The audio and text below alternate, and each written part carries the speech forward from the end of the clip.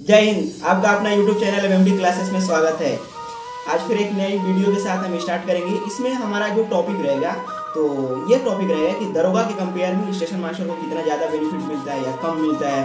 Night allowance किसको मिलता है? नाइट अलाउंस ड्यूटी का रोस्टर क्या रहता है? किसमें ज़्यादा इज़्ज़त है? कितना मेंटली वर्क है? कितना फिजिकली वर्क है? बहुत सारा हम क्वेश्चन को आज जवाब एक ही ये वीडियो में देंगे। बहुत दिनों से ये चल रहा था ना कि भैया हमारा स्टेट दरोगा में हो गया है। भैया, हमारा स्टेशन मास्टर में भी हो गया है। तो दोनों में से कौन बढ़िया है? किसमें हम जॉब ले?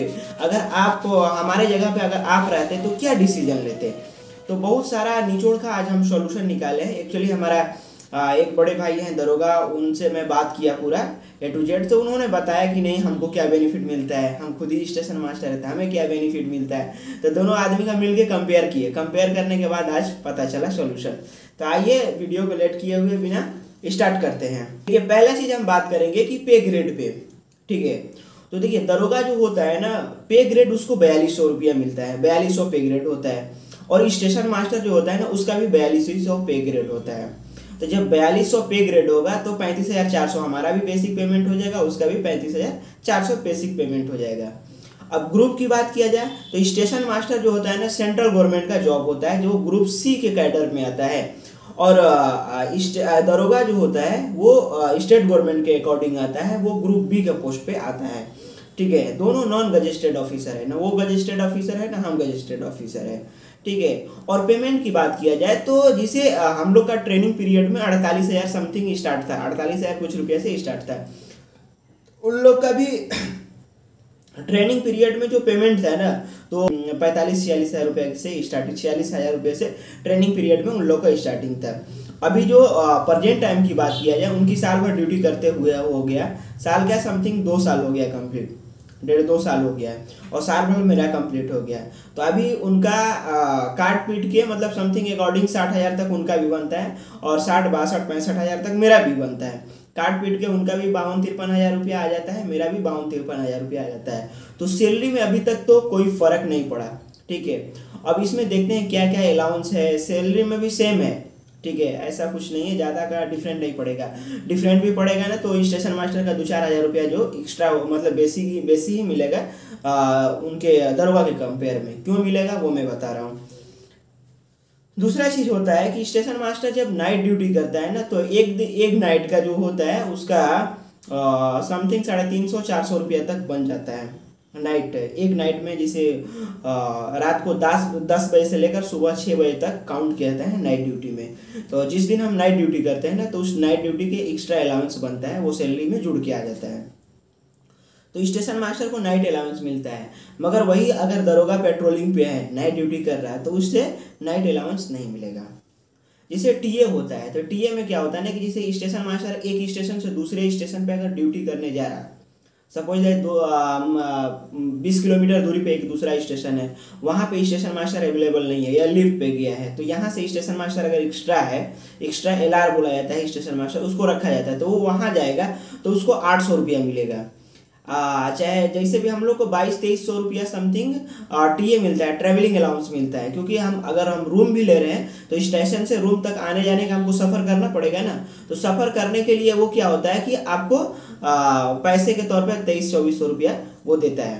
तो हम लोग को भी मिलता है टी ए तेईस चौबीस सौ रुपया। मगर ये दरोगा में जो है ना उनसे मैं पूछा बात किया तो वो बता रहे थे कि हम लोग को टी ए हुए कुछ नहीं मिलता है। क्योंकि उन लोग को सरकार गाड़ी खुद ही देती है घूमने के लिए गश्ती करने के लिए। अच्छा वर्दी का पैसा, वर्दी का पैसा में देखिए, वर्दी के पैसे के लिए स्टेशन मास्टर को दस हज़ार रुपया मिलता है एक साल में। वही दरोगा को ग्यारह हज़ार रुपया वर्दी के तौर पे एक साल में उनको मिलता है। रेलवे पास रेलवे पास भाई, रेलवे में आप रहिएगा तो आपका फैमिली के लिए, आपके लिए पास इशू होता है। सेकेंड स्टेशन मास्टर में है तो आपको सेकेंड एसी का मिलता है। मगर दरोगा में आप हैं तो आपके लिए पास इशू नहीं होगा। कुछ नहीं मिलेगा आपको फैमिली के लिए और आपके लिए। मगर, दरोगा डबल स्टार देखी कि कोई पूछता नहीं है। हालाँकि, बहुत बहुत ऐसा दरोगा है कि ट्रेन में पकड़ के टीटी चलान भी काट दिया है। लीगली तौर पे नहीं है, मगर भौकाली एक रहता है। ठीक है। मेडिकल मेडिकल के लिए हमारे पास क्या होता है? हम रेलवे एक हॉस्पिटल बनाए रेलवे के पास हॉस्पिटल होता है। ऑल इंडिया में ब्रांच है चाहे दूसरे हॉस्पिटल से भी आप अगर इलाज करा ले रहे हैं तो रेलवे उसका पैड करेगा मगर दरोगा में क्या होता है ना कि रेलवे जो आ, मतलब मेडिकल का कोई फैसिलिटी नहीं देती है हर महीने में एक हज़ार रुपया एक्स्ट्रा आपको मेडिकल का पैसा देती है। एच आर एच आर इकतीस सौ बत्तीस सौ रुपया समथिंग मिलता है।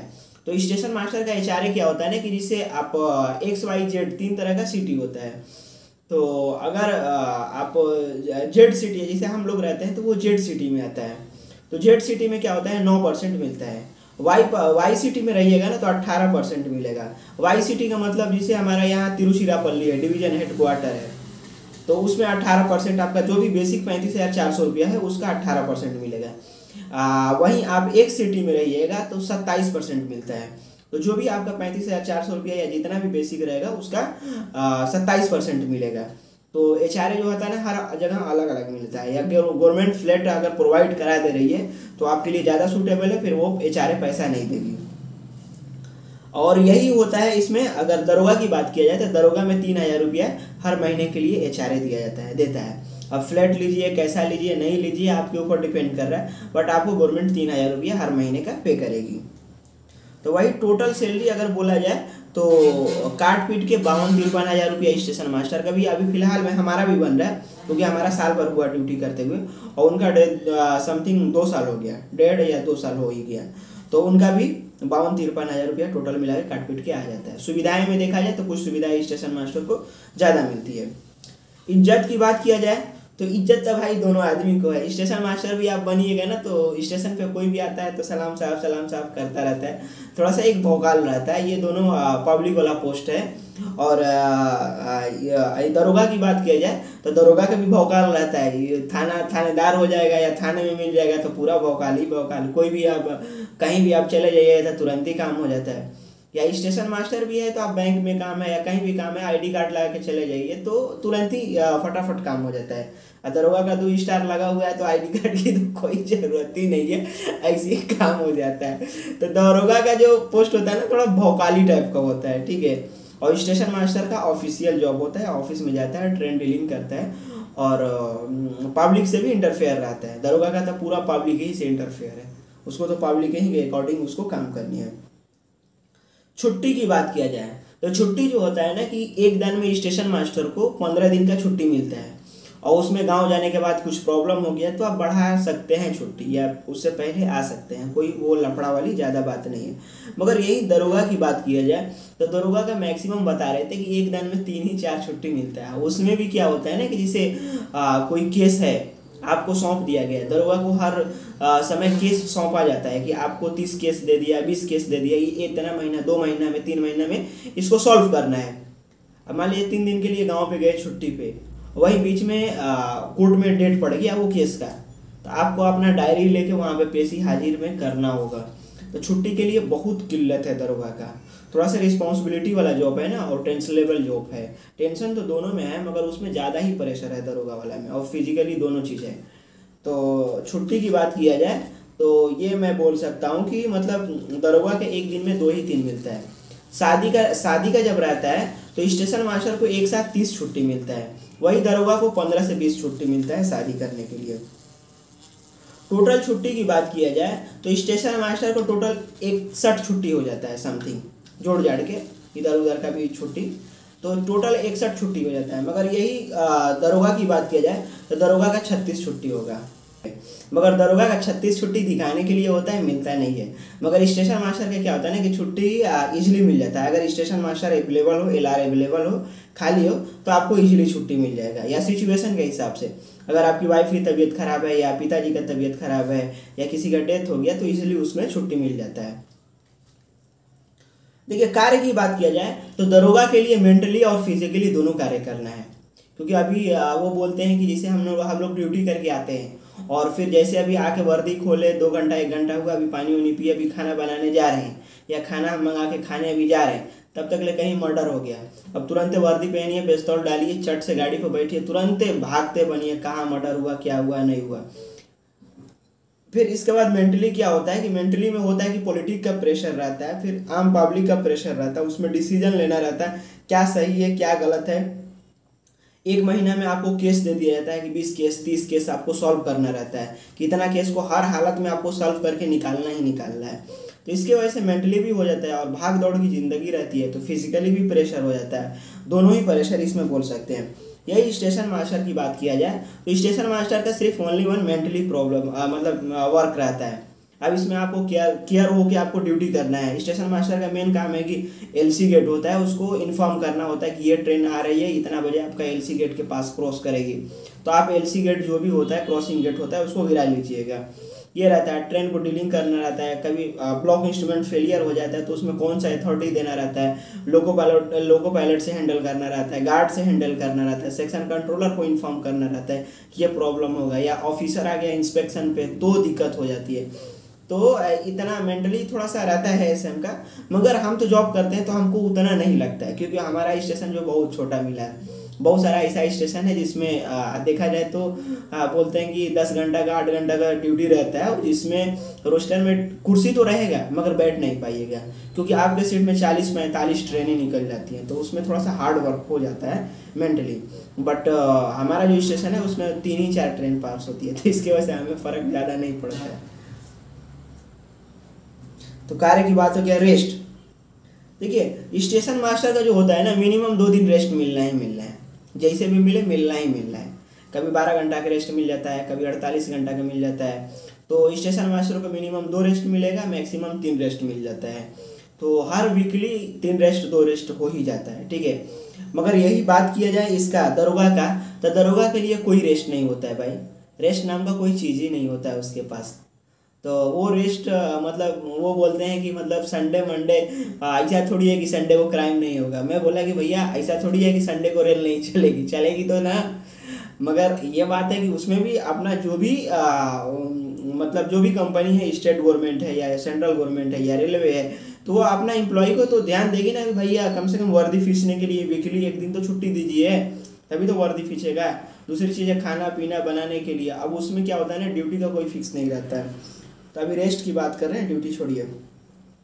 तो रेस्ट हमारा जो होता है ना रेस्ट मिनिमम दो दिन स्टेशन मास्टर का होता है मैक्सिमम वीकली तीन दिन का होता है रेस्ट मगर यही बात की जाए दरोगा का तो दरोगा का कोई रेस्ट नहीं होता है। ठीक है? प्रमोशन की बात किया जाए तो प्रमोशन जो होता है ना, सात से पंद्रह साल लग जाता है ट्रिपल स्टार बनने में। कम से कम सात आठ साल लग जाता है थानेदार बनने में। दो ही स्टार रहता है, मगर थानेदार का पोस्ट बहुत आपका मतलब एक्सपीरियंस होने पर, और एसपी के एसपी के अकॉर्डिंग वो अपना करेगा कि नहीं, थानेदार कौन बनेगा। तो थानेदार में थोड़ा सा इज़्ज़त भी मिल जाता है, पैसा भी हो जाता है, मिल जाता है, और आराम की ज़िंदगी हो जाती है। तो जो नया ज्वाइनिंग रहता है तो सात से आठ साल के बाद उसको थानेदार मिल जाएगा, और फिर पंद्रह से सात से पंद्रह साल के बीच में उसको ट्रिपल स्टार इंस्पेक्टर मिल जाता है।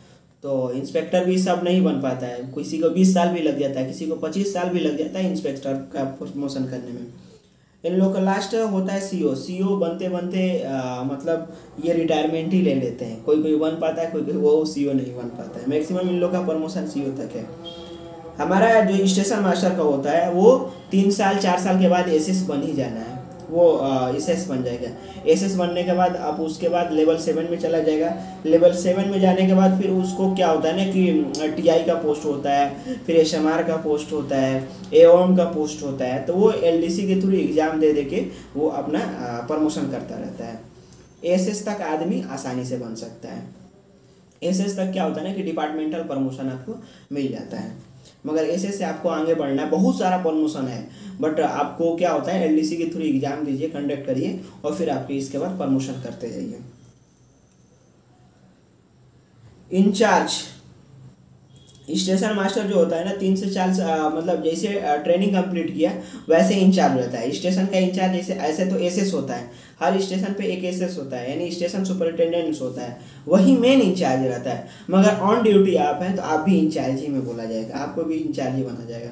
मगर यही दरोगा की बात किया जाए तो इसको इंचार्ज बनने में कम से कम तीन से पाँच साल तक लग जाता है इंचार्ज इंचार्ज इंचार्ज का मतलब होता है थाना प्रभारी। थाना प्रभारी जौन बोलेगा, आपको उसको अकॉर्डिंग करना है। अभी आप एक नॉर्मल दरोगा बने हैं तो आप कुछ अपने से डिसीज़न नहीं ले सकते हैं। थाना प्रभारी बोलेगा कि ये केस सॉल्व करना है तो कि ये केस सॉल्व करिए। या जो भी बोलेगा, उसके अकॉर्डिंग आपको काम करना होगा। ठीक है? इतना तक तो मैं बात कर लिया। अब अब बचता है कि ड्यूटी रोस्टर की फिक्सिंग की बात होती है कि ड्यूटी रोस्टर क्या होता है? किसमें कितना रहता है? तो देखिए, दरोगा कोई रोस्टर नहीं होता है। जैसे वो बता रहे थे कि हम अभी दस बजे पेट्रोलिंग पर चढ़ेंगे।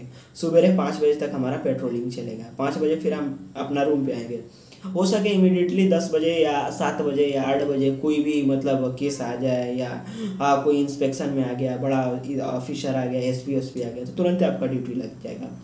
उसमें कोई मतलब रोस्टर ही नहीं है कुछ नहीं है। जब आपको बुलाए तब आपको ड्यूटी में हर हालत में हाजिर हो जाना है। स्टेशन मास्टर का रोस्टर होता है। एक छः घंटा का रोस्टर होता है, एक आठ घंटा का होता है, एक दस घंटा का होता है, एक बारह घंटा का होता है। ठीक है तो उसके अकॉर्डिंग स्टेशन मास्टर रोस्टर के अकॉर्डिंग काम करता है कि हमको इतना बजे रोस्टर हमारा स्टेशन, जैसे अभी हमारा क्या है कि आठ बजे से हमारा रात का ड्यूटी चालू होगा तो सुबह आठ बजे तक कंप्लीट होगा। अभी हमारा बारह घंटा चल रहा है। दिसंबर तक हमको फिर नया यहाँ पे एस एम अवेलेबल हो जाएगा तो चार एस एम हो जाएगा। चार एस एम हो जाएगा तो फिर आठ घंटा का रोस्टर हो जाएगा। तो उसमें रोस्टर होता है दस से चार छः, वो अलग ही रोस्टर होता है। तो उसके अकॉर्डिंग हमें काम करना पड़ेगा। तो यही सब है डिफरेंट अगर आपको अगर हम वर्दी की शौक है, और तो आप दरोगा में जा सकते हैं। अगर आपको ऑफिशियली वर्क करना है, शांति दिमाग से काम करना है, ना किसी से लोग, न लपेट, न झंझट, न हचच न मचमच तो आप स्टेशन मास्टर के लिए बढ़िया रहेगा। और हमारा बोला जाए ना तो हम तो स्टेशन मास्टर ही को ज़्यादा प्रेफरेंस देंगे। क्योंकि दरोगा वाले में बहुत मतलब मेंटली प्रेशर हो जाता है। वो तो बता रहे थे कि एक ऐसा दरोगा भी है जिसको केस सॉल्व करने में, जिसे मतलब ज़्यादा लेट हो जाता है, जिसे दो महीना का दिया गया कि दो महीने में केस सॉल्व कर देना अगर दो महीना से एक्स्ट्रा टाइम हो गया तो फिर जज आपको डांट फटकार लगाएगा कि इसका दो महीने का सैलरी का इंक्रीमेंट काट दिया जाए, या छः महीना का सैलरी काट दिया जाए, दो महीना का सैलरी काट दिया जाए, क्यों नहीं सॉल्व कर पाया, इतना दिन से क्या कर रहा था? हमेशा आपको कोर्ट का चक्कर लगाना पड़ता रहता है। तो उसमें बहुत है प्रॉब्लम मगर फिर भी अगर आपको इच्छा है कि नहीं हम वर्दी पहनेंगे तो आप एकदम खुशी खुशी जाइए। दोनों नौकरी अच्छा है। दोनों में से ऐसा नहीं कह सकते कि वो खराब है ये बढ़िया है। आ, या हम ऐसे में हैं तो हम बढ़िया अपने आपके अपनी नौकरी को बढ़िया करें वो वाला नौकरी को खराब करें। ऐसा कुछ नहीं। दोनों बढ़िया है।